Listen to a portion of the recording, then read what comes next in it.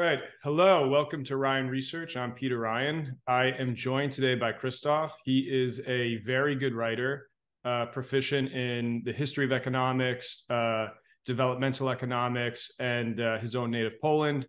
Uh, very curious to talk more about all manner of subjects touching on all those things. Uh, but before we do, can you please introduce yourself? Um, yeah, I um, studied uh, international international re relations and uh, sociology in Poland. Um, I went to work in one of uh, governmental agencies that oversee uh, the industrial policy in my country. Yeah, I spent the, spent there uh, some time, and you know, after a while, I um, you know I think I think that I, that I reached you know some limit and exhausted all the you know all the possibilities to to learn. So um, and yeah, while being there, I discovered you know all this uh, literature on um, uh, East Asian developmentalism. So I uh, you know that that um, uh, that prompted me to leave the agency and uh, concentrate more on you know reading and writing and you know um, I I have you know the comfort to to do so so I you know devoted myself to it and I'm going you know to uh, do it for a while I think. All right. Yeah. And I think um, we first kind of came into contact over our shared interest in Eric Helleiner's recent work, uh, the neo-mercantilist. I also had uh, Eric Helleiner on to talk about his book in a previous podcast for anyone that wants to go check that out. Uh, and you wrote a fantastic essay uh, for American Affairs where you explored his book, kind of expanded on the ideas, brought some other thinkers in. So I'd love to for you to give your summary of what you think of that book. Um, yeah, I think that it's um, you know very important book, uh, essential book to really um, understand what's happening uh, right now, and um, because I think that um, we are in the process of moving to a system where um, large part of the allocation of resources is not left to markets anymore. And um, we really don't know how it works, right? Because most of our economists are trained in uh, free market economics, in free markets, and not in history. And uh, we, you know, we tend to we fail to grasp that, you know, as Schumpeter said, capitalism is a uh, evolutionary process, right? So I think that uh, we need to get familiar with the concepts of neo-mercantilism and political economy and this uh, this book, the neo-mercantilist, it you know it help helps us to do exactly exactly that. So um, what's what's interesting is that you know uh, you read this book and you can um, you can get this um, you realize that um, the you know neoclassical economists and uh, liberals they um, they tend to um, um, they tend to aim towards you know global welfare while while you know neo-mercantilists they uh, understand their, their goal as uh, the you know uh, national welfare. And they see um, they see um, they see economics uh, as a as a part of as a branch of geopolitics. You know, so uh, I think that uh, by outlining all those uh, diverse uh, strands strains of of uh, neo-mercantilist thought, Helleiner is is really you know helpful to is is really um indispensable. It's indispensable for us to to grasp what's what's happening around us, right? Yeah, yeah, and um, you know, I I think I became intrigued by it the same reasons that you did. Um, you know, uh, coming from sort of an economics background, uh, you know, just made that there's sort of a lack of history. Uh, I had to kind of supplement that as I went. And uh, you know, outside of just the numbers and the charts, you start to realize there's there's much more of a sort of humanities um, requirement for really understanding how economies work and and how things function. Uh, knowing how to create the right structures of you know is it global welfare like you said or is it the nation is it the individual and uh, these are all things that different thinkers that Helleiner brings up uh, kind of get to. They talk about well, who's benefiting and and uh, a possible criticism of this sort of perspective is that you know could it be two zero sum game, some degree that like if someone's winning, someone's losing, but uh, I think it's uh, the more authentic way to look at it. It's more of a realist approach to you know understanding that the economy, uh, the global economy, is is a matter of international relations of uh, you know naturally competitive groups and um, if you do not take the right policy stance in terms of uh, you know uh, again what probably more familiar term for people is protectionism of setting up tariffs and and things that are are similar in that vein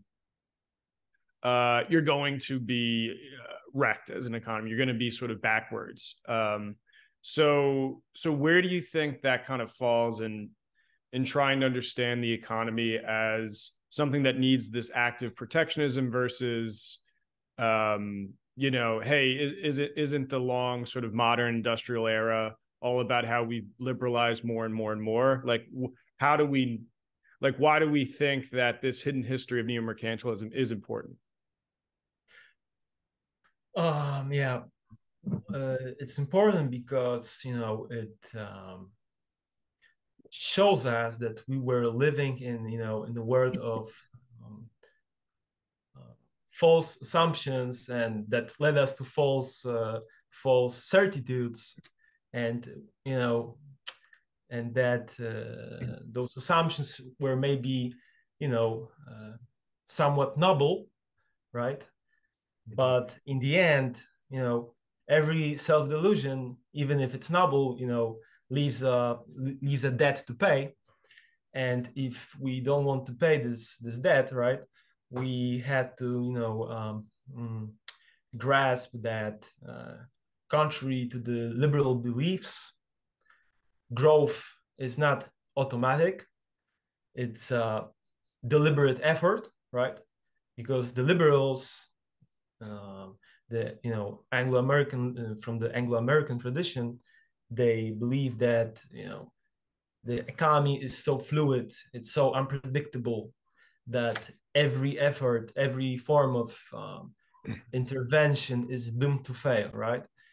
And for uh, Friedrich List and Alexander Hamilton, right? Um, industrial development entails uh, some sort of market failure, right?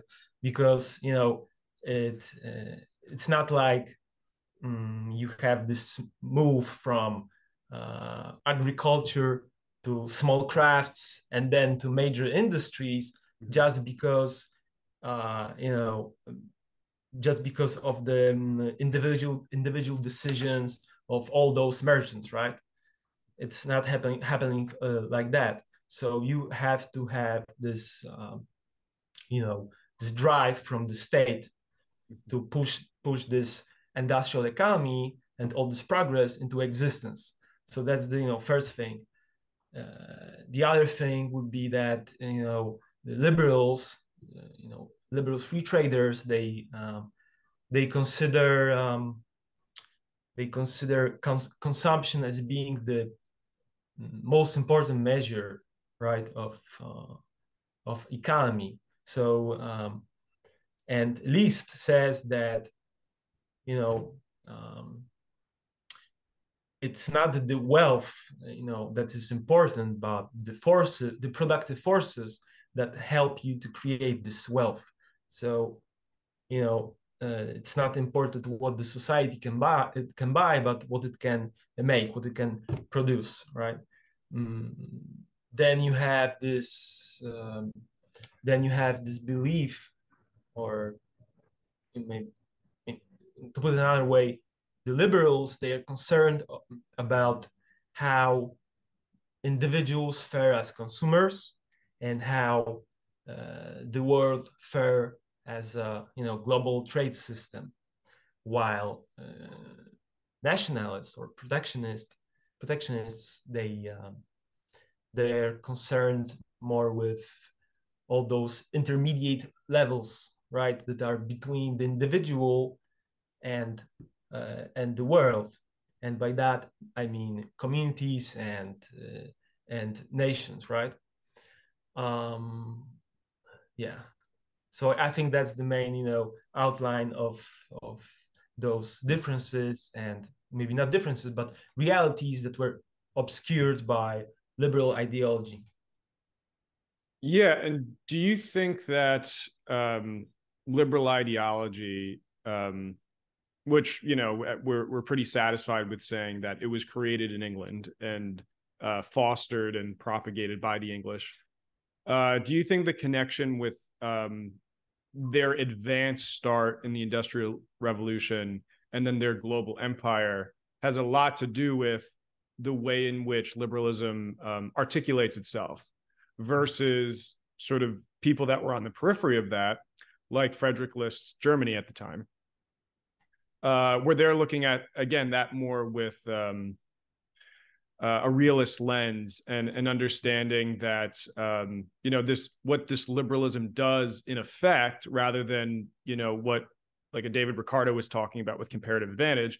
In effect, liberalism actually keeps lesser developed nations um, in a subordinate position to the dominant player at that time, England, and it also behooves the dominant player, who is the manufacturing superpower, to have consumer markets vis-a-vis their colonies or their you know uh, quasi colonies uh, by keeping uh, other nations subdued, so that they can have people buy their their goods. So, how do you think England's specific role in history and then their global empire plays into the way we think about liberalism, how liberalism articulates itself, and how the reactions to that form in neo mercantilism? Um, yeah, you're right that uh, basically uh, neo-mercantilism was born out of resistance to this uh, English system, right? Mm.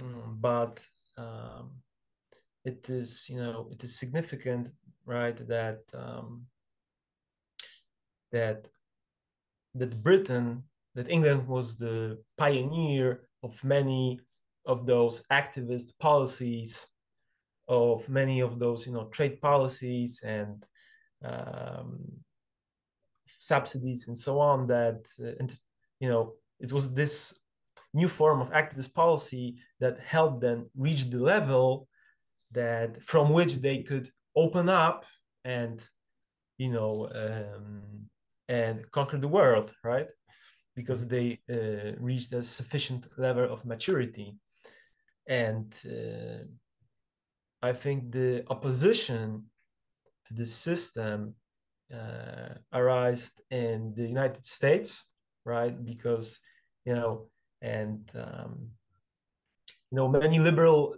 liberal theorists they they said that um, the U.S.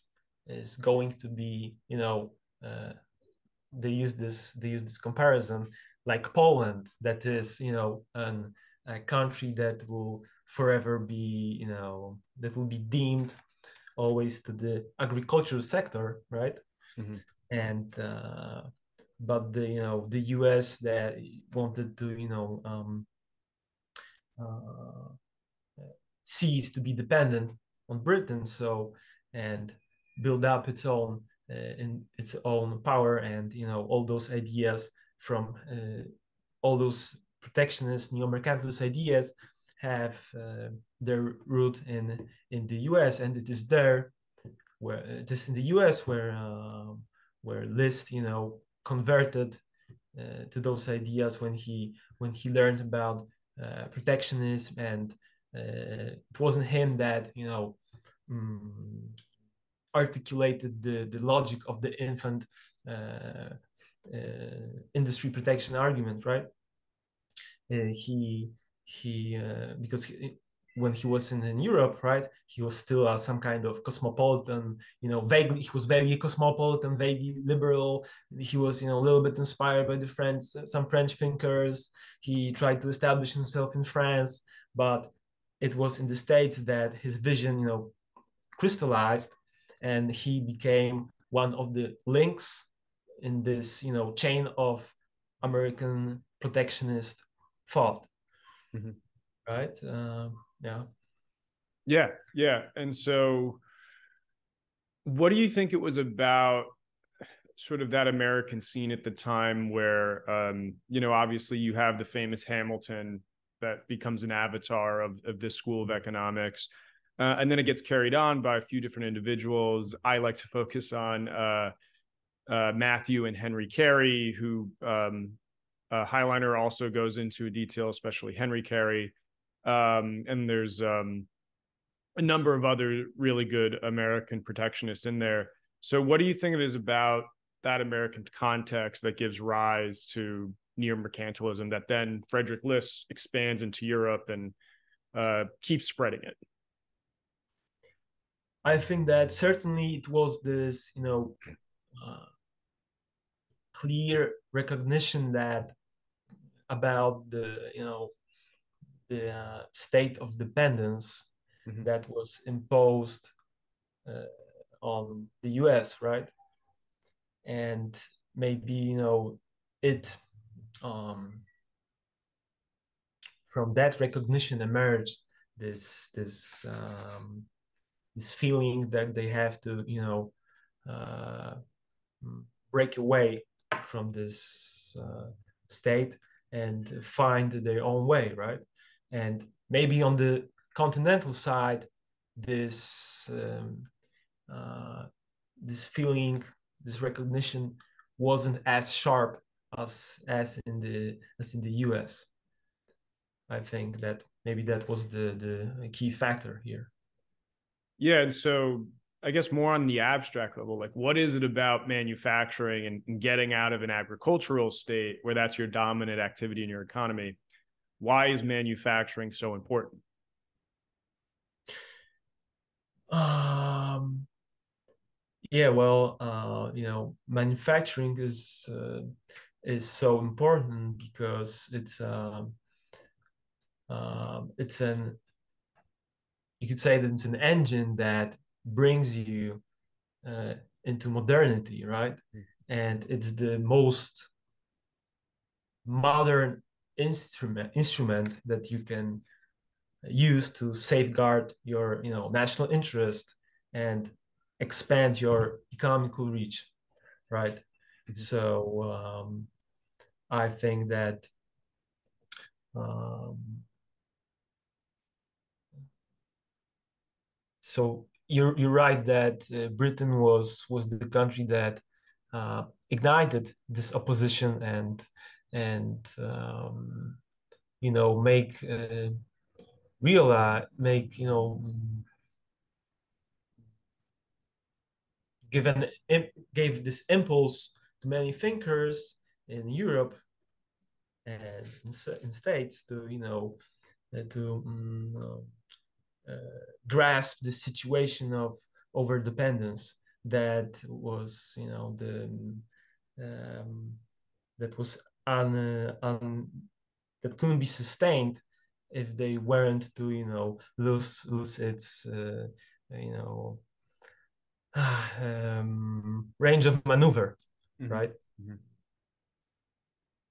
gotcha yeah and so uh, i think uh, eric Reinert is another good writer that talks about the history of this and really gets into describing why manufacturing is good. And you know he talks about how it's this you mentioned engine but yeah it's this kind of um, compounding activity where if, if you're manufacturing you're thus like uh, you're able to of course make refined goods but you're making sort of productivity enhancements that increases your farming output at the same time. And so like by and this has a lot to do with urbanization density and so by creating more urban areas by creating density by uh, stimulating innovation closer together. You increase productivity, you uh, increase your agriculture output, you allow population growth, and um, you keep yeah, basically it's a, it's a power multiplier, right? Yeah, yeah, exactly. Um, have you come across Reinert's work? Yeah, I think that you know he's really fascinating. You know, especially he his take on List as a theoretician of integration, right? Mm-hmm. Because we see him mainly as this, you know, protectionist, while in Germany he's regarded also as, you know, um, someone who advocated, you know, the lowering of barriers, of trade barriers between the German states, mm-hmm. and uh, he, you know, List argues that uh, for the integration to be successful, uh, you you have to, you know, we have to have countries that are on a similar level level of, you know, uh, of the GDP per capita, but also they have to have um, uh, a comparative advantage of their own, right? Uh, manufacturing activity with with uh, increasing returns, and uh, I read this great article by Reinert where he, you know, tries to when he demonstrates that um, uh, the integration in the European Union up to the 1980s was this symmetrical, successful kind of uh, integration. Mm-hmm. And by that, he means, you know, the integration of the European South uh, Spain and Portugal, and you know to some extent Greece, mm-hmm. though it's it's you know uh, manufacture, manufacturing capabilities were you know a little bit were slightly weaker than uh, than Spain's or Portugal's. So he he uh, you know he demonstrates that uh, this integration was um, was gradual and the the you know tariffs were were being lowered gradually uh, over a period of 10 years. Uh, the eu made uh, you know the eu um, th- those countries received uh, substantial funds for for those uh, for the for the you know it, so so uh, the industry has a chance to gear up to the technological level of of the core countries of the EU.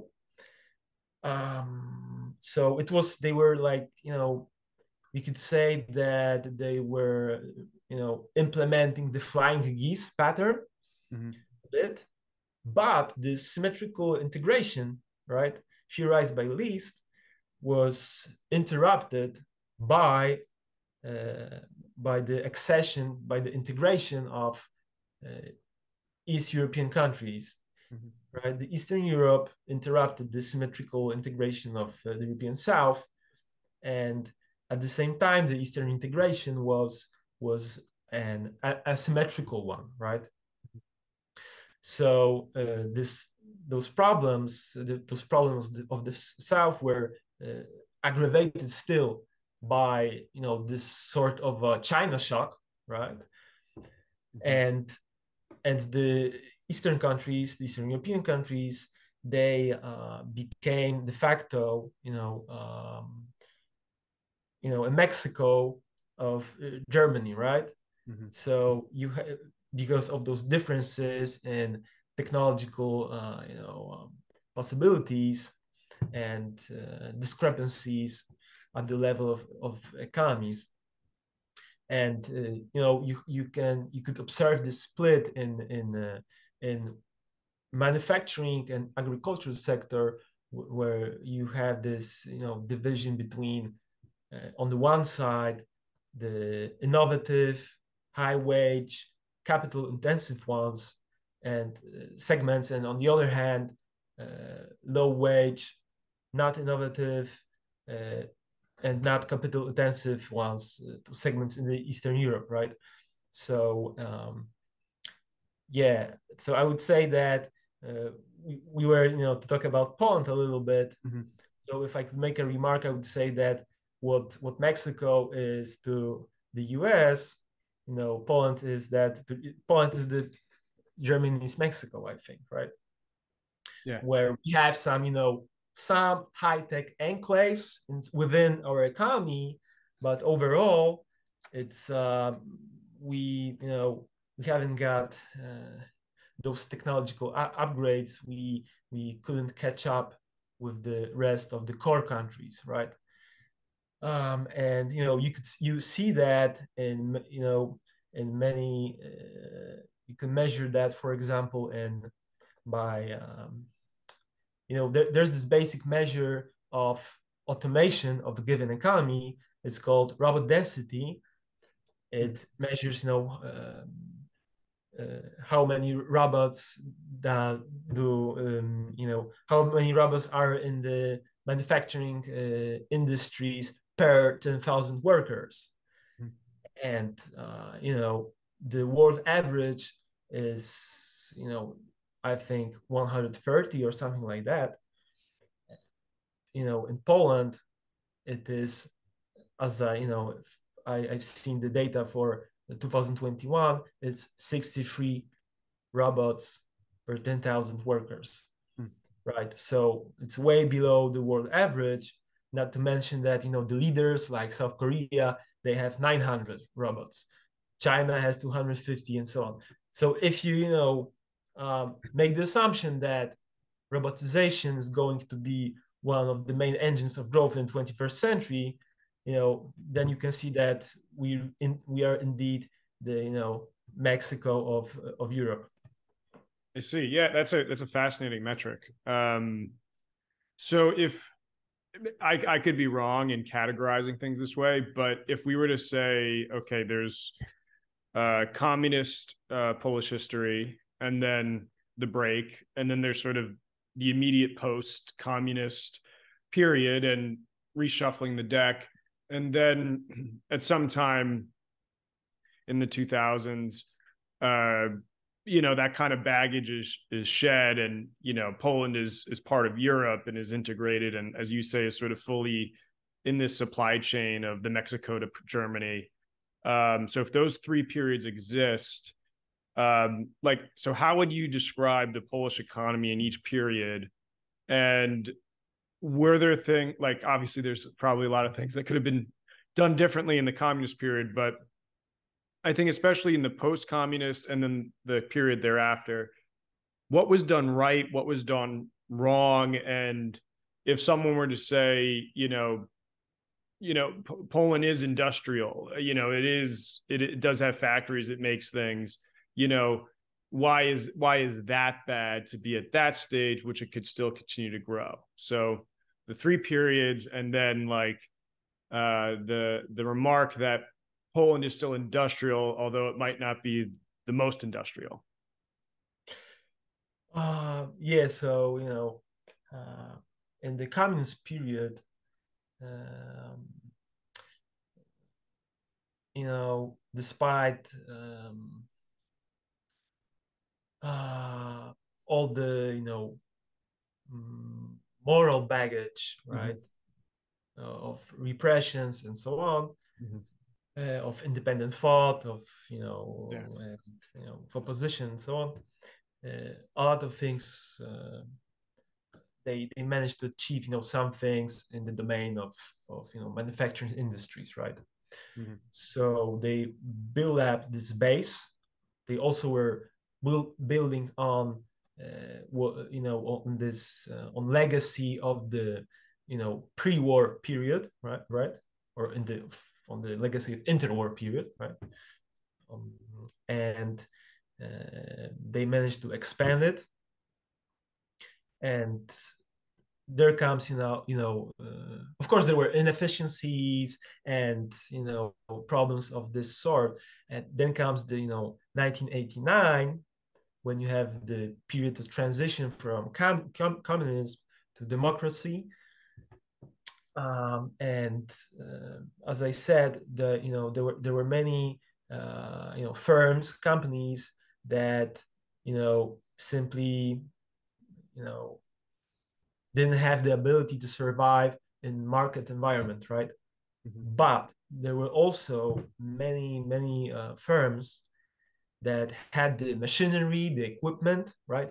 That sometimes needed an upgrade and sometimes, you know, were, uh, you know, top notch. That they they can, you know, enter the uh, they, they could compete with other uh, Western companies in, in certain in certain sectors in certain in certain markets. But you know uh, the the um, political political uh, elite that uh, imposed its agenda in that period, you know, they were. Uh, it was a moment of the you know heyday of neoliberalism, right? Mm-hmm. We had Jeffrey Jeffrey Sachs here, right? Mm-hmm. So he was the main advisor, and everybody wanted to show their zeal, and mm-hmm. basically they started, you know, to sell everything, and um, they also sold some assets that could be, you know, useful in the later years. And I read this funny, you know, one of those people that were um, that were around back then uh, wrote to Milton Friedman, mm-hmm. and he was, you know, asking for advice, uh, asking what uh, Friedman thinks about those changes in Poland. And Friedman said that, you know, my God, you have to restrain yourself. That's this, you know, this uh, privatization is going too far, right? So even Milton Friedman had some reservations about, you know, uh, their, you know, um, the zeal with which they were privatizi- privatizing, you know, everything in their sight, right?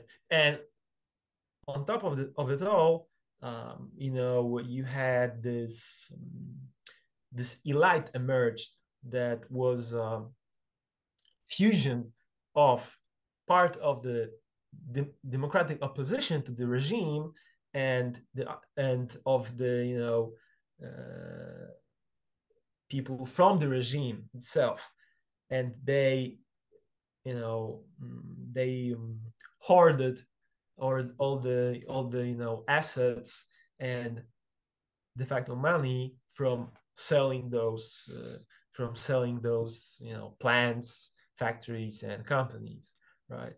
So i would say that if you have this mental model right where you have, you know, on the one side, you have East Asian developing states. On the other side, you have predatory states like in Africa. And, you know, in the middle, you have countries like Brazil or India in the 70s or 80s. I would say that probably Poland will be somewhere in the middle, right? With uh, this, you know, uh, disorganized bureaucracy, some, you know, uncoordinated efforts to modernize and um, and with a lot of you know those clientelistic norms clientelistic relations that were uh, squandering uh, that you know um, that squandered our potential in the end. I see. I see. So um the privatization. I mean, if you have Milton Friedman saying you're going to uh, too private, you're going too free market, that that might be a red flag. Um, so so you really see that that middle period of the post communist um, reshuffling as uh, an uncoordinated effort and and probably somewhat of an overreaction to um, align with the West and embrace um, neoliberal economics.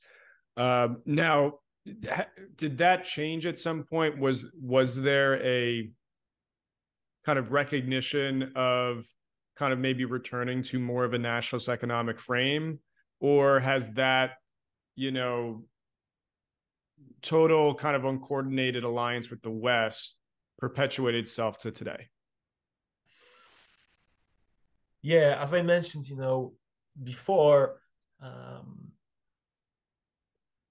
we are still we are still in this you know um, we are part of german supply chains uh, and our advantage still lies in relatively cheap labor, right? And uh, there, there's you know, I mentioned the flying geese pattern, right? When mm-hmm. in East Asia, mm-hmm. you know, you know, we can take example of a product, right? So yeah. you have, you know, for example, Japan is making hair dryers, but mm-hmm. they upgrade the, their capacities and you know the hair drying uh, business is going to Taiwan and Japan is now making you know uh, flat TVs. Mm-hmm. Then Taiwan is also upgrading, so the production is shifting to Thailand. Taiwan's making TVs, and Japan's making semiconductors, right? Mm-hmm. So they all ride this technological wave, right? And sequentially they improve. So we we in Poland we are stuck in this, you know, we're just stuck. We're just trapped in this mm-hmm. low wage, uh, uh, not you know, economy where there's not a lot not a lot of innovation happening, mm-hmm. and although you're right that that you know in the recent years there was this vaguely reformist drive I think that it was mainly, you know, um, a change of, uh, you know, a change of slogans, mm-hmm. but we are at the same, at, still at the same place, and we uh, we didn't, you know, realize that comparative advantage is something that, you know, can be constructed, right? Mm-hmm. And um, I think that we never asked ourselves a question, you know, can we deliberately change the position we fill in in the international division of labor? Right. And, you know, and I, I've seen no effort, you know, to identify those sectors that, you know, could potentially you know, spare what Albert Hirschman called uh, multidimensional uh, conspiracies in favor of uh, development, right? Mm-hmm. So you know, and, and, he says that it uh, it entails positive spill- spillovers into the into the rest of the economy, right? From this one productive sector, it can entail, you know, it it it molds. Mm-hmm uh, developmental coalitions and i haven't seen you know any effort on that front and just you know contentment with status quo and you know uh, ideological skirmishes and bickering uh, and in lieu of mm. of uh, serious uh, consideration of our developmental possibilities yeah, yeah. Um, so that that makes a lot of sense, and uh, you know, you touched on some of the East Asian examples there, and you know, there seems to be a, an entirely different mentality over there when we think about Japan, uh, South Korea, Taiwan, Singapore, uh, older Hong Kong to some degree. And I think it's important to maybe separate those as a block, and then you know China is very emulative of those, but China has its own thing going on. Um, but together, you know, they all have a they they they don't have the same ideological baggage. It seems on, uh, you know, needing to embrace this like Uber uh, privatization um, or sort of like uh, dispossessing their own national construct in order to achieve um, you know this global welfare metric like you know if everyone's if the big pie is getting bigger of course you know everyone de facto must get richer and not just you know some asset managers. Um, so like what is it about the east asian economic perspective that you find intriguing? Um Yeah, I think that what's uh, most intriguing to me is their model of state or of this, you know, state economy interaction, right?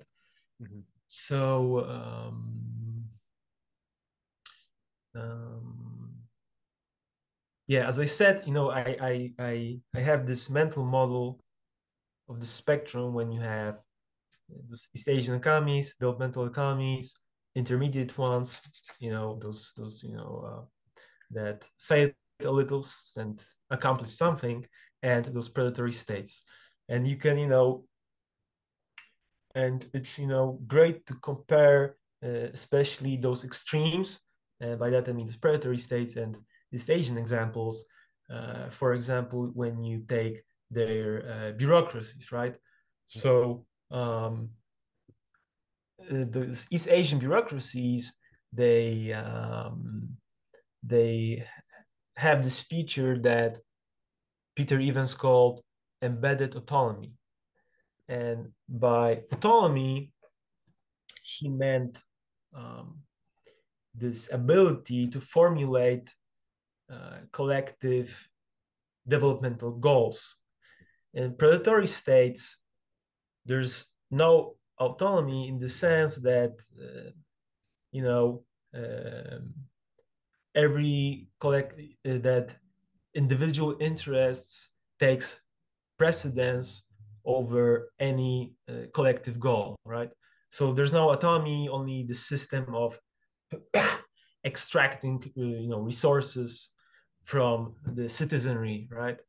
And um, what he what what Evans meant when he um, when he was uh, or what he meant by embeddedness was that um, the bureaucracy, this developmental bureaucracy, is um, linked, has a set of connections to social groups that share the same joint project of transformation, right? Mm-hmm. So you have, first of all, you have this phenomenon, and um, what's what's also interesting and what's fascinating is the high quality of those bureaucracies, right?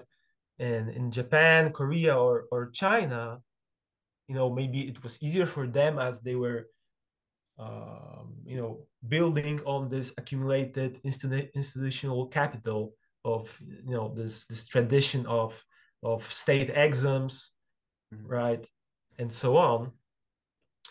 But um, what they uh, you can see you can see this high quality of these bureaucracies when you compare them uh, not only to those failed predatory states but to you know for example to to brazil or india where you know uh, india and brazil they they uh, tried to play the role, the, their bureaucracies tried to play the role of demiurge, right? Mm-hmm. So they tried to substitute the private uh, sector, the private producers, and you know, and build the companies uh, on their own, while the East Asian countries, the East Asian states, uh, they had this you know high capacity, they and because of that, they could restrict their intervention to more, you know, toward more strategic necessities.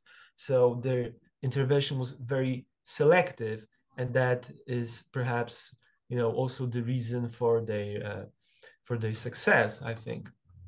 So you have the selectivity, you have this meritoc- highly meritocratic component, and um, uh, also this approach of not, you know, they didn't strive after being a demiurge in the economy, but more, uh, you know, they they wanted a role of a midwife, so to speak, mm-hmm. right? Mm-hmm. So they didn't want to substitute, you know, private private uh, private sector, but to stimulate, to mold, to stimulate them to mold the environment so as to induce them to venture into, you know, um, into areas where where there's a more uh, there are there are um, transformative opportunities to be grasped, right?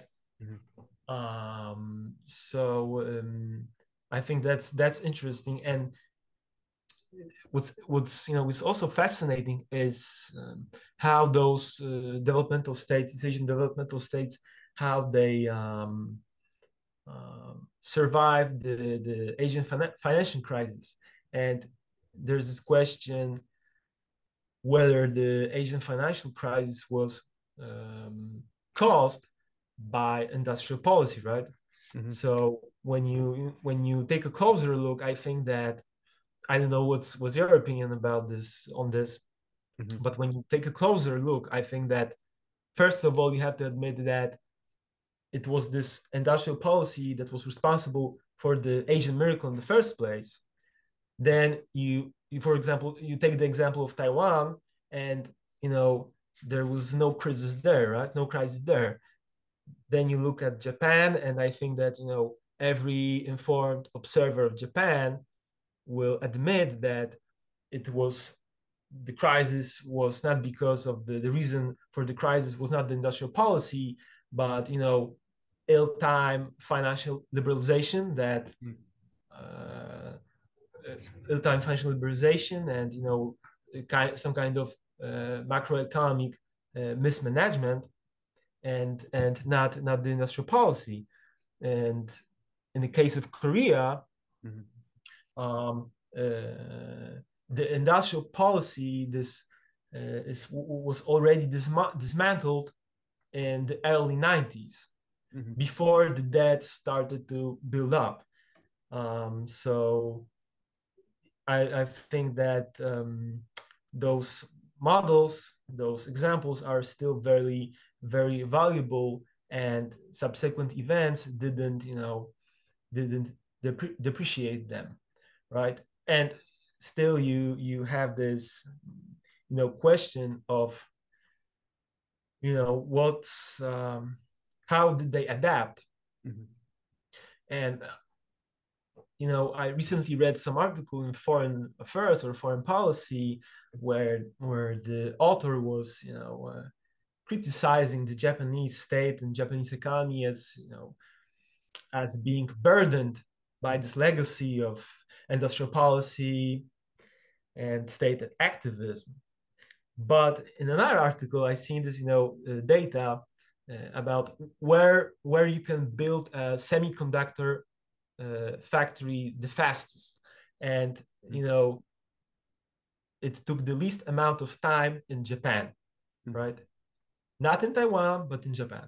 Mm-hmm. so you have you know i think that this legacy um, is still is still important. It's a good base to to you know to hmm, it's like you know um they they still have those instruments right to adapt and to react to changing to changing uh, to this fluid international environment that uh, suddenly we're we're in and i think also you know to end this yeah. uh, that japan is a, is a really really country to you know because we have this um, image of japan as very stagnant mm-hmm. and reactive right mm-hmm. they have this demographical burden uh, it's an old society so we see them as you know they're, they're lacking dynamism and basically that there's no hope for them mm-hmm. and you know if you like i think that since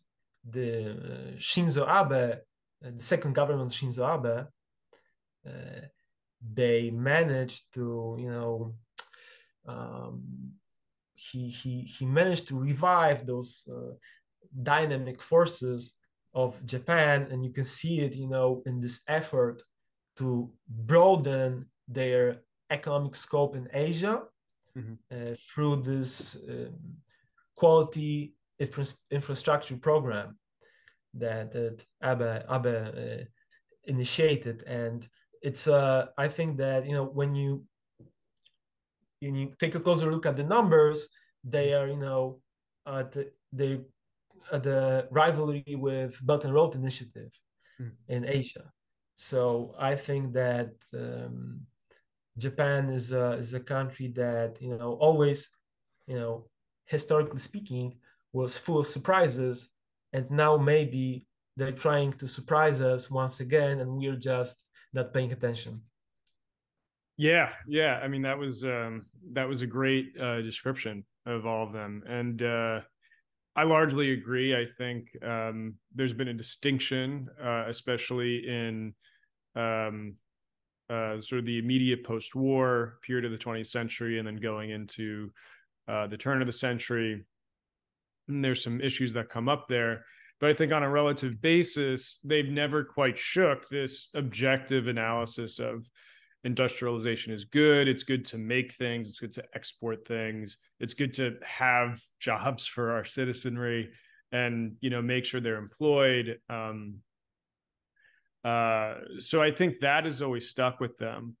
From what I've analyzed, um, you know, th- there were certain uh, pinpricks to some of their models, and and maybe that's because they became more integrated with the West uh, and the neoliberal sort of education system that comes along with that. Uh, you know, one of the fascinating examples that if I kind of picked apart is um, looking at sort of Japanese banking, central banking in relation to its industrial strategy and how that changed over time. So in the immediate post-war period, uh, the Japanese miracle uh, was was largely caused, you know, by you know, efficient bureaucracy, private market dynamism, things like that. But a large component was the idea of window guidance from the Japanese central bank, where they would create credit quotas for the private banking system to say, you, know, you need to uh, expand credit in automobile manufacturing by X amount, or you know, you're you're going to be out of business essentially. Um, and so there were these hard and fast rules uh, for the Japanese private banking sector, which was not, you know, the Japanese at the federal level kind of commanding and saying, here's one outlet and we're going to just give it to our cronies and um, you know, our special friends. It was a very distributed way of kind of going throughout all the banks and keenly the local banks uh, to say, look, everyone has a quota. You have to meet this. We don't care how you do it. You know, you're in charge of figuring out who to give it to, how to divvy it up, all that stuff. Um, but uh, you know, you have to meet this as a national objective. Uh, and so the the rise of Japan into the 50s, 60s, uh, and 70s, um, and why Japan became this pariah for the United States as it emerged in the 80s as this like competitor, the same way we think of China today, um, is because of of that um, disposition to using central banking to foster this industrial strategy and and setting up quotas in, a, in an intelligent way to say you know we're directing credit into these productive capabilities.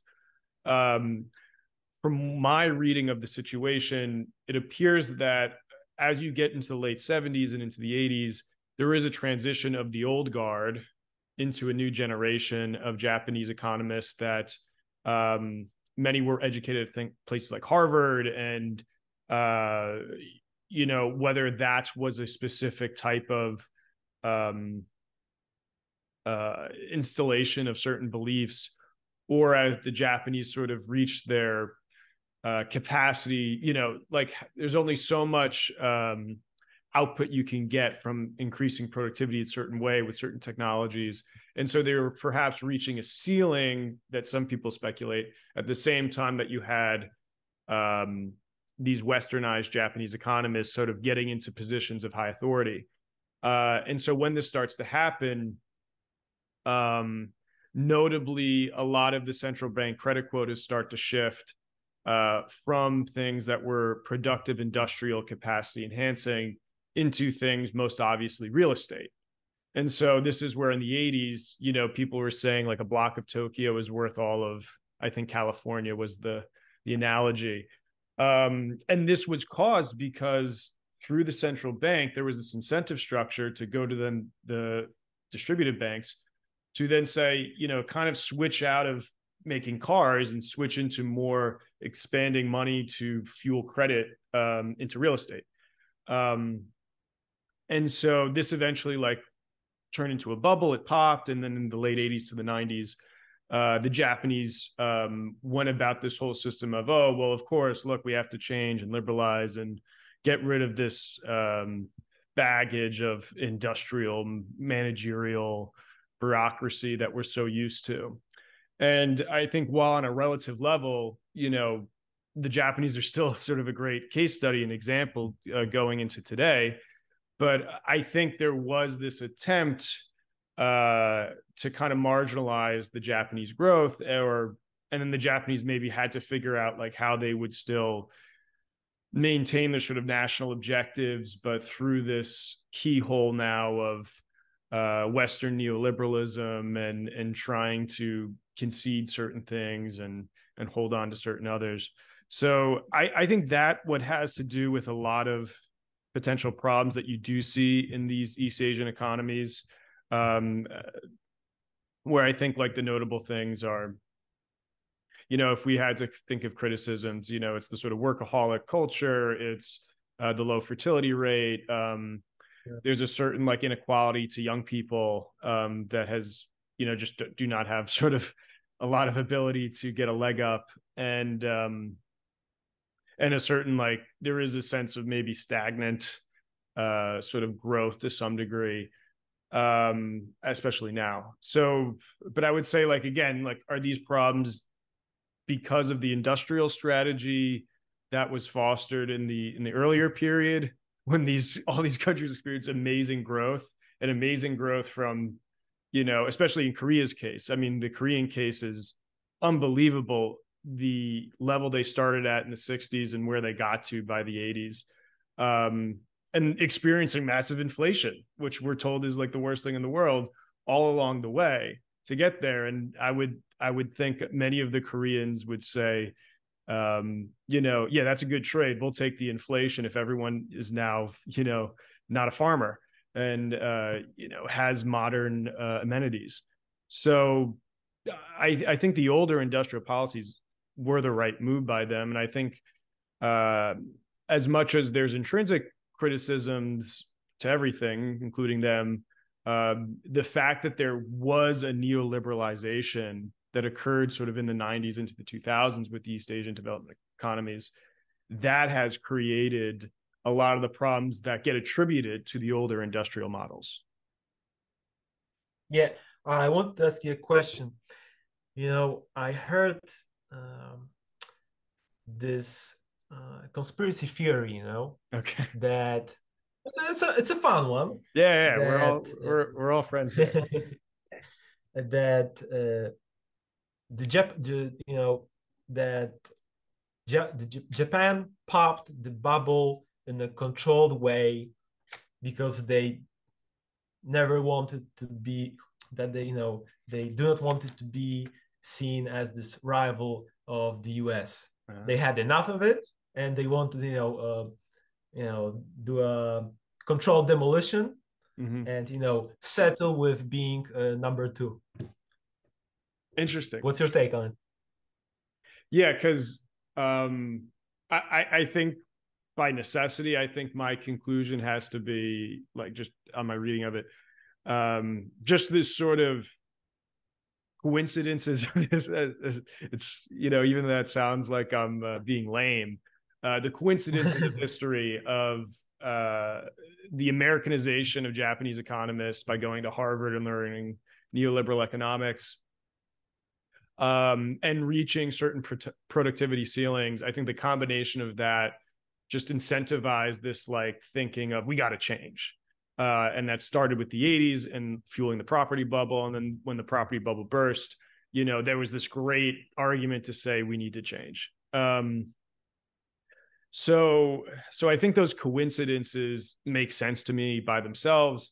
I think that if I had to place a conspiracy on it, I, I would say probably, you know, the American uh, apparatus that it is uh, probably you know took deliberate actions to to somewhat increase the chances of those certain Japanese economists getting into place, certain policies getting pushed through by them, and you know this this turn from industrial growth to asset growth and then bubble.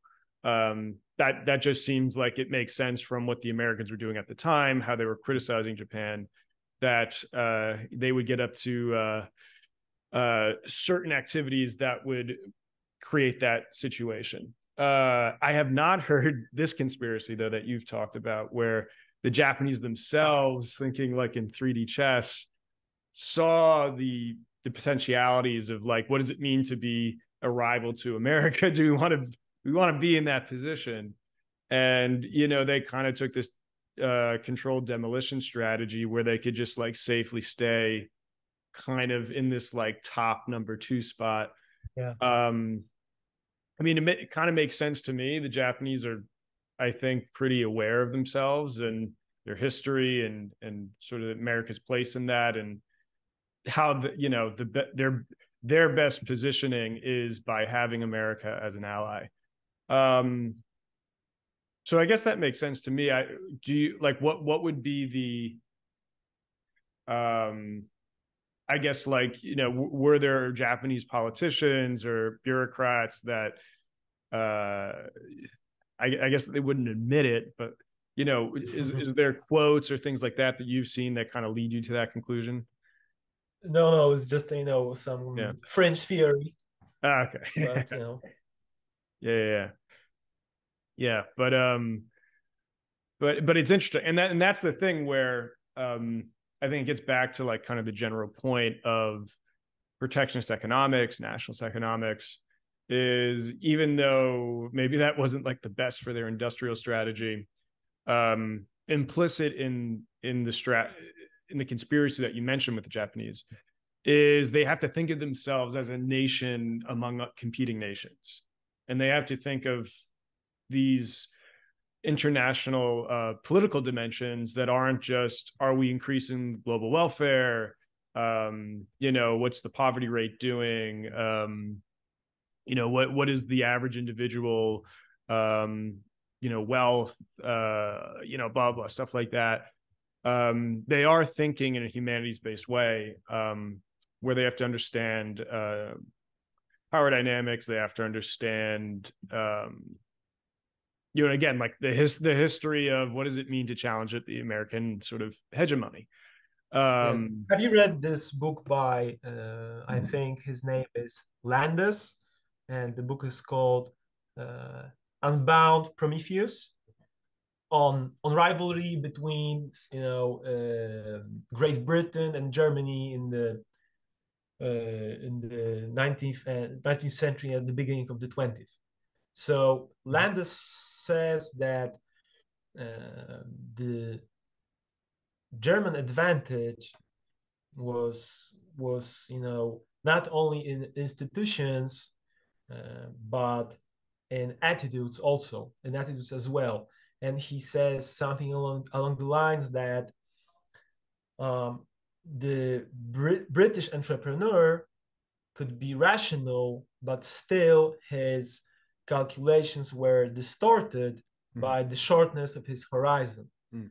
So maybe this is the you know the advantage that East Asians and Japan you know have over over the Western uh, approach to economics, right? And this you know the popping of the bubble, yeah, maybe this one of those you know genius moves. Yeah, well, I I I feel like I've come across Landes or you know his his take there. Um, I haven't directly read him, I think, uh, but that makes sense to me. I mean, the, the way I look at the turn of the 20th century is, um, you know, you had the beginning of the 19th century where you know England's on top. It has the global empire. It is the first major power of the Industrial Revolution, and then by the end of the 19th century, um, the number two, number three, European, and of course America. Uh, those nations industrialize themselves and start rising up, and then you know have the, you have the scramble to expand into you know French colonies, German colonies, which were the laggards. But I think that uh, ultimately, while World War One is full of contingencies of um, uh, rational and irrational um, things outside of economics. Um, I, I, do think there was almost this macro necessity of okay, you have all of these, you know, rising economic powers eating away the oxygen, and there is going to be a conflict. You know, Br- Britain is not going to accept Germany being equal or better to it, or the you know all that stuff. So so i think in the in the hindsight of history, like going back to what you said about Japan, like are is Japan looking at that and understanding um you know if if we are perceived to be challenging enough to the competing bloc then uh you know then then we're going to be in some sort of cold or hot conflict um and like do we think we could win that? Or do do we even want to bother uh putting ourselves in those situations? And and maybe the japanese are ultimately you know vindicate like if that's what they did the japanese are ultimately vindicated because if we look at china uh and china has differences of course you know it being a larger population and uh, the middle kingdom and all these things that come along with that um the chinese even though they haven't directly like really gotten into conflict with the united states the japanese i think especially now in the post Trump and especially post Biden era, um, they're they're treated with so much hostility that I don't think the Japanese were ever really um, were given the same sort of sticks uh, that America has done. I mean, Biden had, I mean, Trump participated in the trade war with them. Uh, Biden has recently uh, said if you're working over in China, like on semiconductors or stuff like that, you better get the hell out of there um, and is imposing some harsh things on China, uh, you know, and trying to pr- prohibit the Europeans from uh, trading the intellectual property on semiconductors over there. So um, the lithography machines. So here we see that China is actually getting compromised just by the sheer fact that they are this this compet seen as a competitive power to the United States bloc. yeah and i you know i i was thinking still about this the western this um, you know this inability of the west to think you know in the, in the um, long term to consider you know uh, all those um, this broad horizons horizon of events and uh, I I thought about you know two things.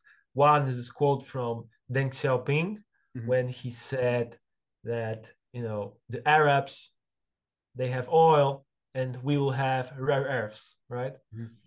And I was thinking about you know how Japan has secured so many you know uh, rare earth resources as you know in 2010 they had this very um, intense um, they had this conflict with, with the Chinese over Senkakus, the Senkaku Islands. I think that the Japanese they detained some, you know, some uh, ca- Chinese captain. They they you know uh, they catch uh, they catch the boat or something like that, you know. Mm-hmm. And in response, the Chinese they uh, they curbed their exports of rare earths to Japan and what's particular particular about rare earths and Japanese economy is that uh, 20 25% of the uh, value of Japanese exports are tied to rare earths hmm. in some some way, right? Electronics and you know other stuff. Yeah. So by cutting them from rare, rare earths, they would basically cripple the Japanese economy. And in 2010, the Japan was, you know, dependent on China. And I think that I think that they bought they imported like 90% of rare earth metals from from uh, from from China. And after the incident, this altercation over senkakus, mm-hmm. they decided that you know uh, it's you know it's pro- probably this now is the time to think about reducing this over dependency and now they achieve they you know lowered this dependency rate to like uh, 57 it's hovering around 60 right? Mm-hmm. 60 percent. And you know they they were added you know for 10 years. And now when you look at the all, the rare earth resources mines and so on uh, they already you know um, the the world is um, divided between you know what is Japanese and what belongs to China, with some fraction that is that belongs to the U.S. And coming back to the shortness of horizons and the problem of attitude toward you know future and long-term thinking, you can see how uh, how uh, how uh, you know inane mm-hmm. all, all, all, all those you know declarations on the part of the EU that you know from now on we will reduce our dependency in the you know the domain of rare earths to for you know uh, we will reduce all to, to you know I don't know to some levels, but this is all unattainable, and it only can be done I don't know, probably through through charity on the part of the US and Japan, right? And this is all, you know, a big failure of imagination. And I think that, you know, as I said before, that probably probably the the Asians still have this, you know, advantage in in using the imagination a lot more than than than us. Yeah, I mean, my, my I have a pet theory that um you know, why were the East Asian economies that were inside the Western alliance, like Japan and South Korea, you know, why were they somewhat immune to the same ideological viruses that has infected Europe, uh, sort of in similar positions? Uh, my pet theory is I just think the Americans were lazy and uh, they had an easier time going back and forth with their European, you know, counterparts, yeah. language wise, and they just uh, the, the, East Asians just had the benefit of being a difficult language and culture for the Americans uh, to penetrate and infuse certain ideological um, uh, baggage baggage into their cultures. Uh, but that's that's just something that I that I uh, ponder. But uh, do you think that then? If Japan is taking all these sort of like long term wise steps, that uh, aren't always obvious in the immediate. Does that mean like is China as you know its its place in the global economy kind of correlated to its population size so like proportionally makes sense but is China acting in an opposite fashion where uh, it's kind of going headfirst into confrontation and uh, it, it's it's not sort of delicately trying to uh, uh, do the thing that the Japanese did, which is sort of stay in, I guess, a subordinate position to the American hegemony uh, while still being very powerful. Um, so, like, is, is China like not acting as smart and wise as Japan in the long term? Uh, as one question. Then the second question is, like does china have a choice like is it just so big and are, are these sort of forces of history uh just necess- like it has to confront the american hegemony because it's a huge population because where it situates itself in the east asian landmass how that extends out into eurasia you know belt and road and all that. Like is this just inevitable that it has to confront america? Yeah that's a that's a great question. And i've i'm just you know i'm thinking on the spot. Sure. And um, I think that maybe you know a refreshing way uh, to to maybe we should like you know see China just just like you know Japan as an example of developmental state that reached some point of maturity and has to confront with with certain problems uh, like you know surplus savings and surplus capacities. And the belt and road initiative and also this you know um, the program for quality infrastructure that is you know um, you know japanese belt and road they are you know uh, that's their method to deal with with those problems right? They try to broaden their, their economic scope and, and and you know to to find sites sites for for investment.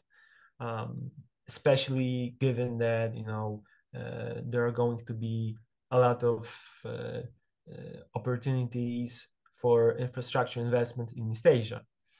So I think that the on I think that the two differences between Japan and China on that count would be that China started catching up catching up a lot uh, you know later than Japan which you know uh, started after the second world war China started you know after the Deng Xiaoping uh, you know opening reforms market uh, liberalization reforms mm-hmm. um, and you know they weren't as as connected to the Cold War alliance mm-hmm. as the Japanese were, right? They, you know, they they pivoted towards the U.S., towards the West a little bit uh, after the, you know, the after the Nixon uh, Nixon Kissinger visit, right?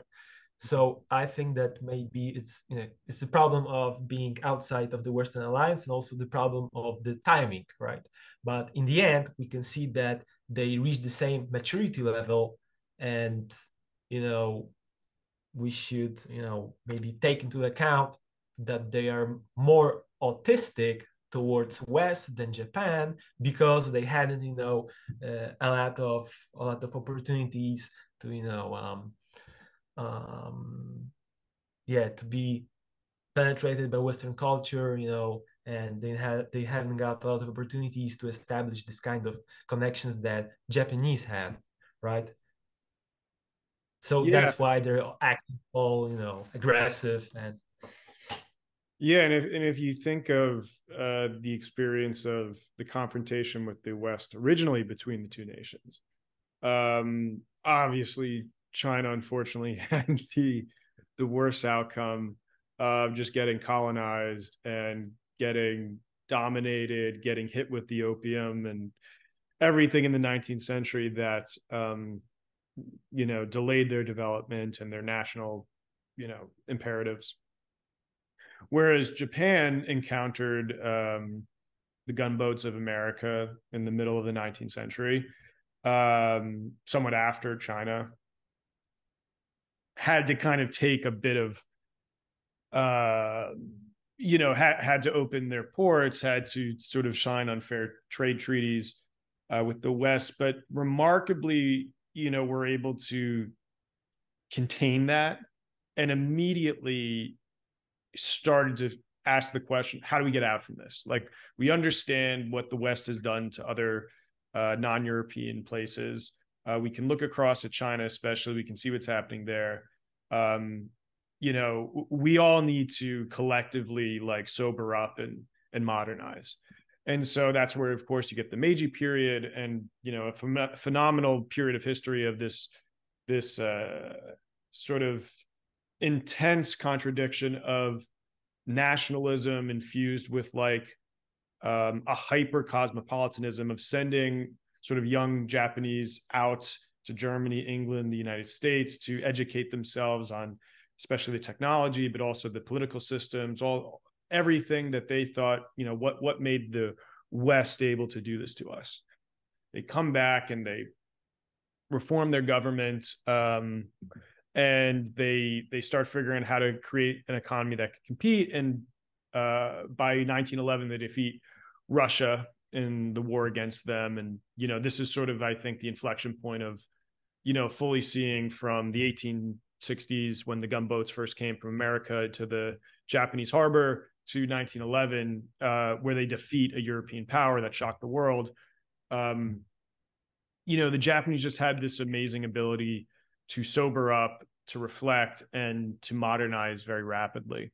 And so, like that's that's the Japanese experience, starting all the way back in the 1860s. Whereas China's, uh, you know, perhaps again to the contingencies of history um you know they were able to get uh more dominated uh they were able to be put in more of a backward state for longer um on you know on top of that not only were uh the western powers dominating the chinese.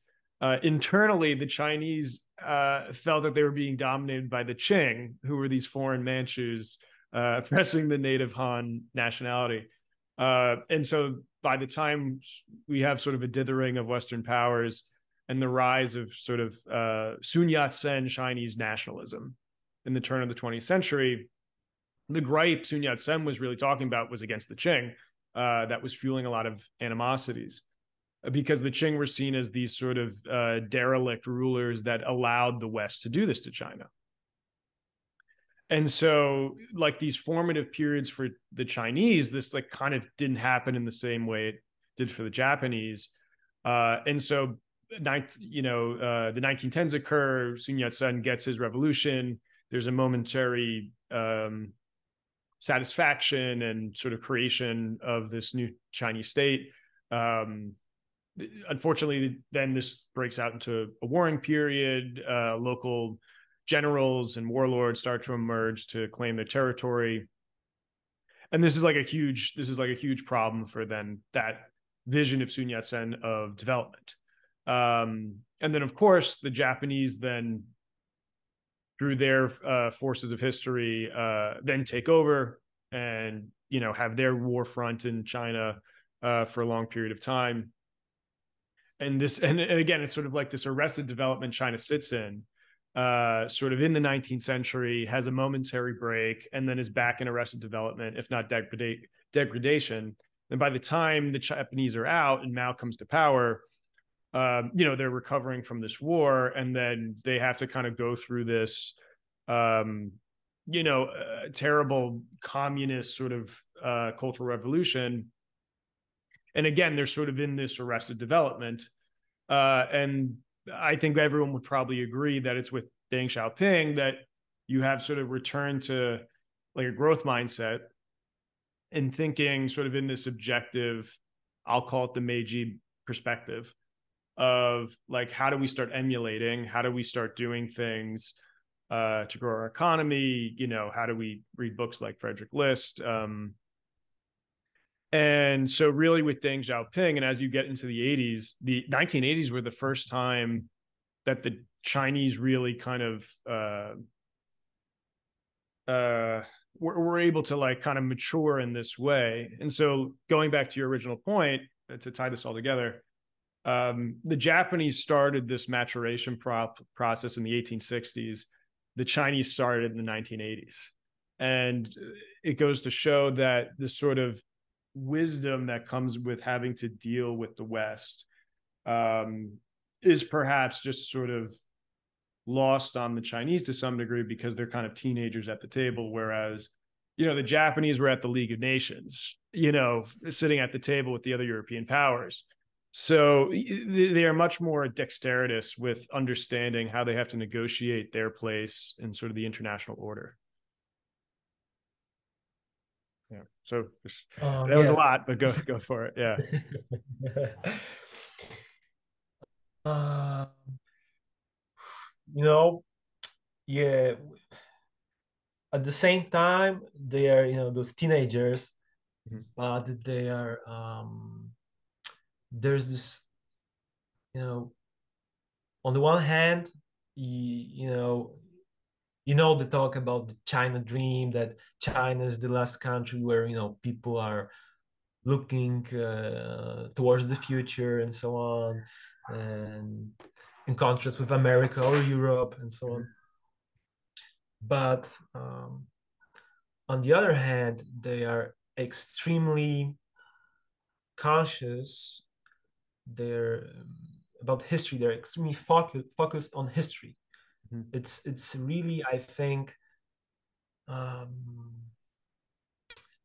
it's really uh, extraordinary because you know I I read you know about their how they educated their you know part the party how they educated the party elites with this like three or four hour movie about the fall of Soviet Union right?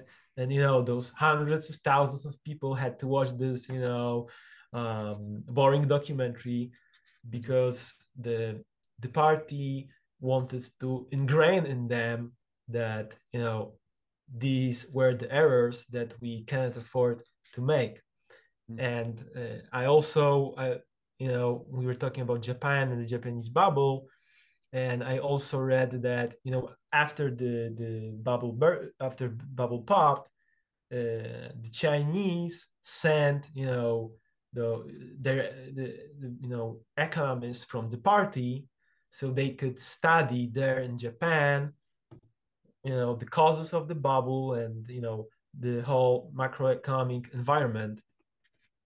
And another thing is that I think that they created some institute some you know uh, some body some think tank you would say that uh, was that was you know um, concentrated on all those histories of growth in the west. And they were like you know collecting all the ideas about what caused this this sudden burst of growth in the west and what give what what gave uh, the west this great advantage and so on so it's a very interesting you know mix where they blend this confidence this this you know this hope this confidence in the future and still they are very very you know um, absorbed by by the meditation upon the past. Yeah yeah and that's um and that gets us back you know to the uh, eric helleiner's book right that yeah. thanks to him we can you know uh, imitate them a little bit and re and you know uh, consider all those economic ideas that you know in the end aren't so old and that shaped the destiny of the west for the past you know uh, 200 years right yeah and um i think what Helleiner points out too what i was kind of thinking on uh was that kind of return of history of them, you know, not just looking at the West and other modern examples, but like going back into their own internal histories and finding thinkers from earlier ages that kind of talked about this developmental sort of stuff. Um, you know, Helleiner talks about how the Japanese did that, and there's there's people throughout Japanese history that speak to that. The Chinese did the same thing, and you know, it, and in, in one sense, uh, it complicates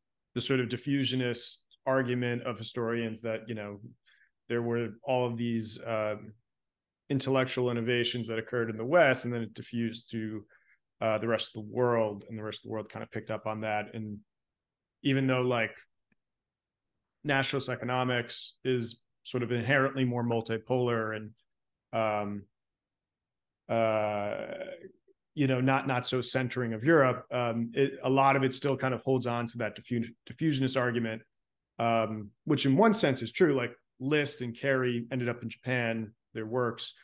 Um, but in another sense, it's sort of like obviously it can't be true because these are uh, civilizations onto themselves. Of course, they have thinkers that were talking about these things, and it's really just because we don't speak their language we don't read enough of their literature that like we don't have the comprehension to like understand their own canons that feed into how they shape their ideology. So um so yeah so that's where like china's is like looking back and you know people talk about like kind of the confucian uh return that china's trying to do like it's more confucian than it is marxist per se that some people speculate on um and so going along with that is like this return to understanding like what were the economic ideas that fueled sort of certain histories of china? And then as the west encroaches into china like what were the economic dimensions of that? Why did the west become more powerful? Why was china backwards? And this is where sun yat-sen as Helleiner points out um, like really hammered on the economic point that like the reason china got dominated in the 19th century is because their economy was more backwards and less developed.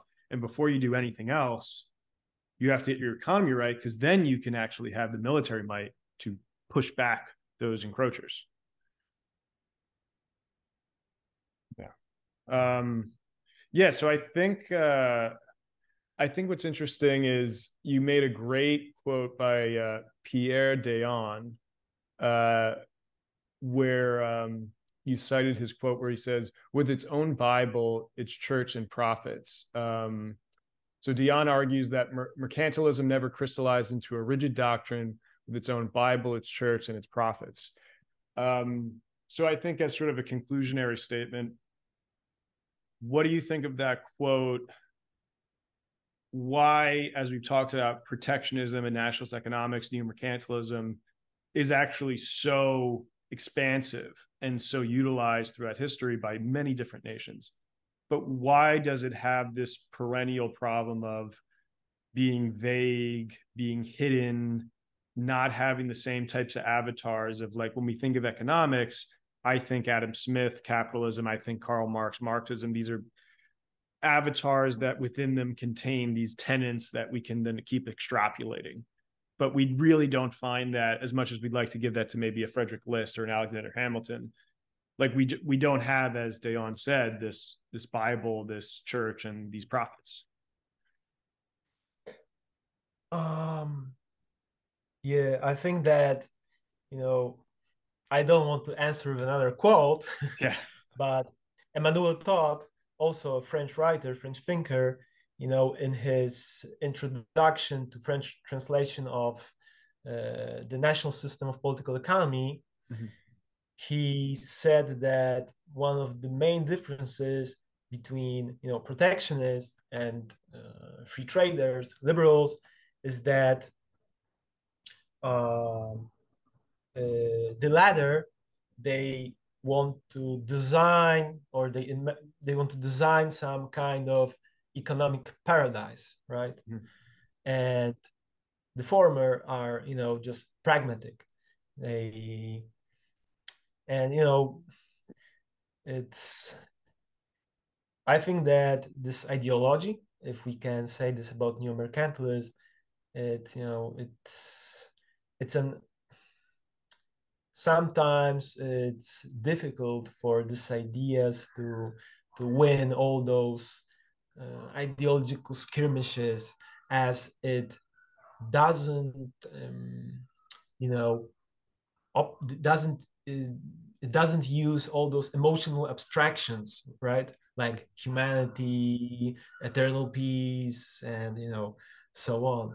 So i think that's that's maybe its weakness. But on the other hand, I think that this pragmatism uh, is so strong that even Adam Smith, you know, uh, laid um, this maxim that defense is more important than opulence, right? Mm-hmm. So I think that in uh, periods of, you know, of uh, let's say geo geoeconomical disturbance as you know uh, and we're i think we are living through mm, uh, a period like this and i think that the period we're living in now is the period of this geo- geoeconomic fragmentation disturbance mm-hmm. i think that uh, in times like this this pragmatism will come back and you know revive and bring back some of those insights that hopefully will help help us, you know, uh, pass through this this troubling and you know demanding times. Yeah, yeah, and uh, yeah, I I know the quote from Smith and. Uh, from my reading, uh, I would argue, and I think other, I think Helleiner maybe mentions it too. Like Smith is probably actually more in line with uh, neo-mercantilist yeah. thoughts. Um, then people sort of properly believe him as this sort of libertarian icon. Um, uh, yeah, like Smith in a lot of ways was responding to mercantilists of the earlier age, criticizing them, and the neo-mercantilists were sort of kind of absorbing those criticisms to sort of refine mercantilism to an extent. Um, like the idea that like everything was about just accumulating gold uh, I think was probably like the big uh, change that occurred between uh, you know the 18th and the 19th century. Like it, it, shifted from just accumulate all the gold you can to productive power uh, as the objective that you optimize for, um, rather maximize. Uh, and then it was really like kind of this afterglow of English uh, liberals that kind of took on Smith as this, I guess, like kind of cherry picked uh, concerns that they had from Smith and kind of rose him up. And like Ricardo is is more so the father of, I would say, like liberalism, economic liberalism in the English English tradition, uh, than probably Smith is, and creating more of that distinct barrier between uh, mercantilism, the Smith criticism, neo mercantilism, and then this tradition of uh, liberalism that I would argue also like you know gave birth to to Marxism. I mean, like Marx was like very complimentary of Ricardo and and Reinert talks all the time about how like Marxism and liberalism are sort of these like twins that come out of the 19th century and um, the real oppositional force to them is uh, this view of neo-mercantilism or nationalist economics um, so yeah so that's that's quite interesting so with that being said i think there's one last question that maybe quickly if you're if you're able to answer uh, given your European perspective, and I'm always curious to this myself. Think, and especially yeah. like in the context of List, how he thought about um, who who was a nation that had the ability to do the things that he talked about, um, and how this contrasted also his contemporary Henry Carey, who like didn't have certain criteria, um, whereas like List would say only certain nations could do it. Carey would be more of saying like any nation could do it. Um, so with that being said, with European uh, perspective that you have and understanding the relationship like Poland has, as you described in Mexico to Germany, uh, do you think that in order to compete in the multipolar uh, order that has now uh, dawned on us, does Europe need to actually be a civilizational state uh, where it has to aggregate itself in this gigantic block of 700 million people in order to compete with the 1 billion people of China and like you know vassals of China. Um, you know, is that the really only way to compete in the multipolar world? Um, because if it's just like okay, France is doing its own thing, Germany, Poland's doing its own thing, um, resource constraints, all of that.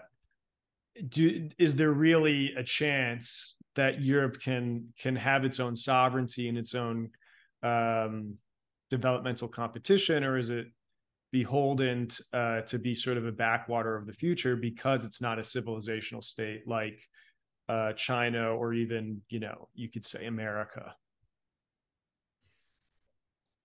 Oh. Maybe that's not a quick answer. yeah, it's a great question, and you know, um,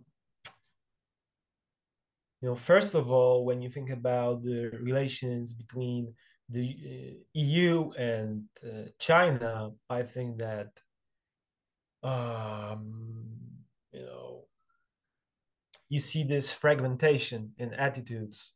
You have two camps: the you know restrictionist camp that that you know wants to follow in the footsteps of the U.S. and uh, gradually decouple, right? Mm-hmm. And you have the you know camp that is still trying to uh, maintain the cooperation of China, right? And when you try to, um, you know, calculate, uh, or you know, um, when you try to assess uh, which camp is more powerful, I would say that you know the camp of cooperation is still you know still has the upper hand because uh, you know all those the most powerful European companies, and by that I mean I mean German companies, are really invested in relationship with China. So they're you know uh, they are double, doubling down on their investments there. They uh, they really mm, uh, really close um, with Beijing, and uh, Germany. So you know this is like the chain of command that you have uh, Germany and its foreign policy that is being dictate, dictated by industrial lobbies and the foreign policy of the EU, you know, in the end depends on on on Berlin. So I think that's that's the main, uh, you know, that's a big hurdle. Um, you know, certainly another big hurdle is, you know, is that uh, big, big obstacle is that the European Union never uh, never created um, a consistent industrial policy, and you know I think that uh, I don't know if you read this article on Phenomenal World about Eurochip. Mm-hmm. I haven't. I don't know if you read it. No. Um, so you know, in the 80s, you know, um, America was scared of the Japan, so mm-hmm. they, you know, about the, you know, progress in semiconductors. So they um, uh, um, struck a deal with them that they have to limit their market share in the US. So the Japanese, you know, given that, uh, dumped, you know, those semiconductors in the European market, and that um, uh, alerted the Europeans. They realized that they're, you know, they have this, uh, that they are really, you know, um, losing ground in this domain, and they um, they try to establish some sort of industrial policy on the you know European uh, European European level, but in the end, uh, the biggest firms, the incumbents, they captured or captured all the funds, and you know there was not a lot of uh, innovation. But you know, I think that there's you know still hope if they if they could try to imitate the you know the example of the U.S. There's this really you know fascinating article. The author uh, author's name is Fred Block, and mm-hmm. it's called Swimming Against the Current. And his main thesis is that uh, there is a developmental state in the U.S. and, and but it's decentralized. He calls it uh, developmental network state, mm-hmm. right? So it's not, you know, concentrated in a single, you know, bureaucratic body institution, but it's you know dispersed in many agencies, you know, and and he was was interesting, right, and counterintuitive. He points to the Reagan era as the moment when this the, when this developmental network network state arises, because then you have this, um, uh, you know, all these initiatives, as for example, Sematech, uh, where they they when where ARPA gives money to form uh, some sort of consortium with the top uh, top U.S. semiconductor companies, and you know, ARPA gives money. The, the those uh, companies uh, contribute also themselves, and they uh, you know they try to uh, catch up with Japan. And in the end, you know, this initiative ended with a you know um, moderate success as they regained some market share from foreign companies. The another project was the human human genome project, right?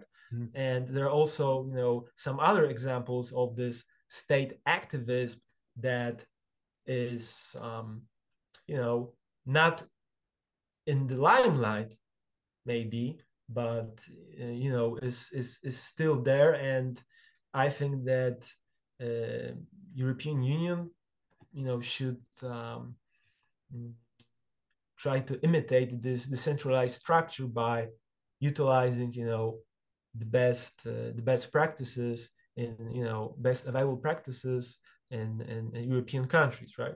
So I think that that's maybe the way, but you know, uh, to tell you the truth, I'm not sure if they can you know mm-hmm. foster that into existence. Yeah, well, that's that's certainly interesting. Like, and I think this is probably like where critics of neoliberalism kind of maybe take a like an L of you know they're so critical and there's like obvious data we can talk about in the US of uh manufacturing um labor employment that's declined you know wealth inequality has r- risen you know things like this we can we can kind of go down and say look this is what you do when you financialize your economy that's bad uh, but I think it's also wrong to say like the U.S. is nothing but a financial market at this point. Like it's it's still the most powerful country in the world by a lot of metrics. It has this um, you know, very, very large uh, uh, military industrial complex, obviously. And that, like you talked about DARPA, like these tentacles like feed down into the private sector and like are able to create a lot of the tech innovations we have the internet the uh, you know he go to google and find all these connections.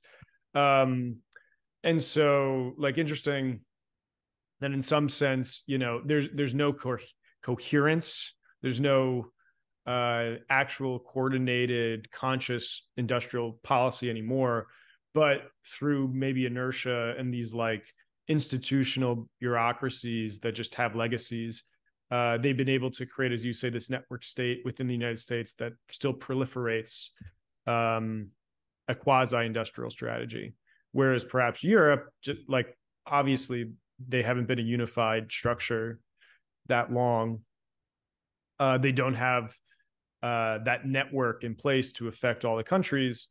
Um, but I would, but I would say that's that's more the feature, not the bug of the European Union and like a, a unified general Europe.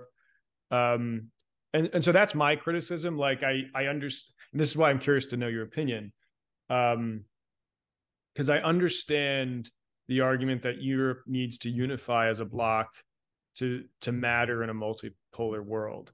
Uh, but I but I also think that's um, that's a losing battle because Europe is a continent of nations.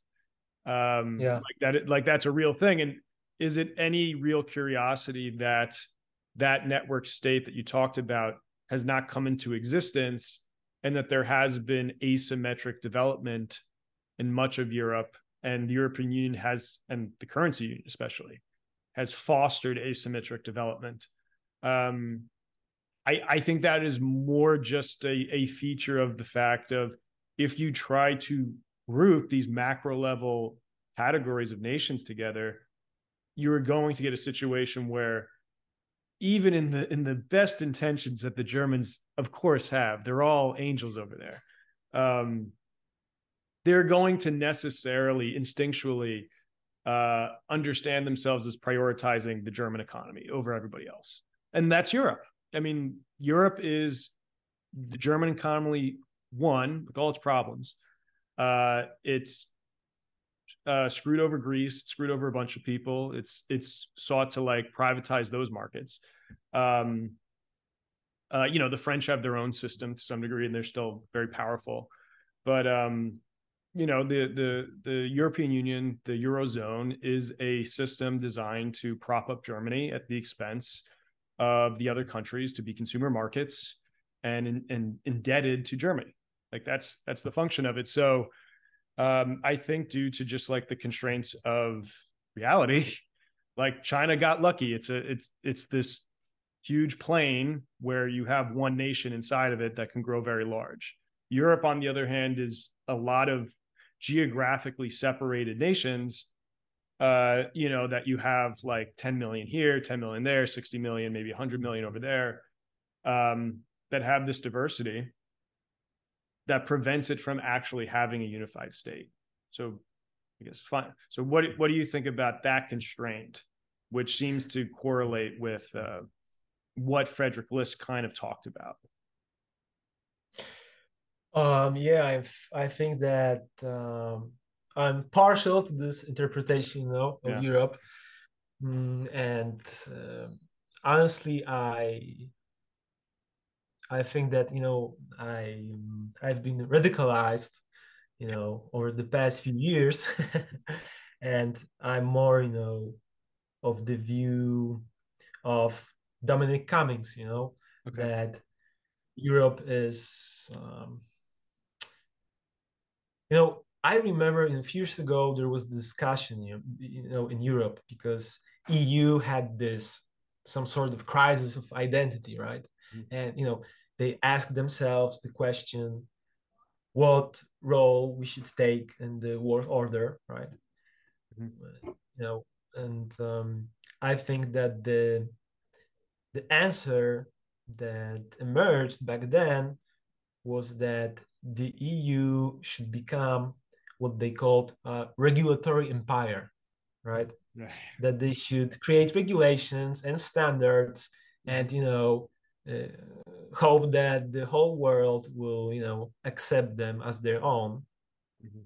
And I think that you know that exactly um, you can you know that they hear um, you can see you know this lack of ambition and uh, i think that the inertia of this bureaucracy is is going to be very very hard to overcome. And uh, you know given that i think that the world will be uh, will become you know um, much more turbulent much more uh, disturbing for this for for European institutions, I think that the best way right now is you know um, is to concentrate you know on on on on those on examples of those countries that thrive in you know period of turbulences as Singapore or Israel and try you know to forge your own way. And you can for, forge this you know you can um, you you can explore your own path if you don't have the you know necessary instruments for it. And all of those instruments been you know taken from us from the nation states by brussels yeah. so we have to you know knock on the door take what's what's ours and get out of the european union so that's my you know that will be my conclusion of course you know, in poland it's mm-hmm. it's like extremely extremely french opinion right mm. yeah yeah and it seems that as as much as the propaganda would want to make europe about to be like so unified um you know there's there's all these different instances of um contrasting elements. I mean, for one, it's like the German approach to energy, and we all see how the Germans are doing with that. You know, they got rid of, um, like you know, a lot of their uh, nuclear. You know, they try to do wind and solar. Super smart. You know, landlocked, uh, rainy, cloudy uh, part of the world. And you know, just the other day, they were burning um, like some of the most coal and like had the biggest CO2 footprint in all of Europe uh because the sun wasn't shining, the wind wasn't blowing. Uh, whereas France, who was sending them nuclear power, like since De Gaulle prioritized nuclear, had a little hiccup with that. I've seen you've you've written about nuclear to some degree.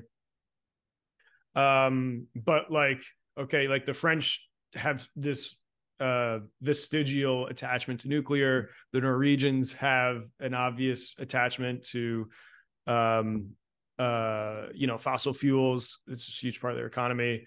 Um, you know, there, there's all these different instances of uh, ways in which the European continent actually really can't come together because there are these are these enshrined differences that you can't just like have a uniform policy over.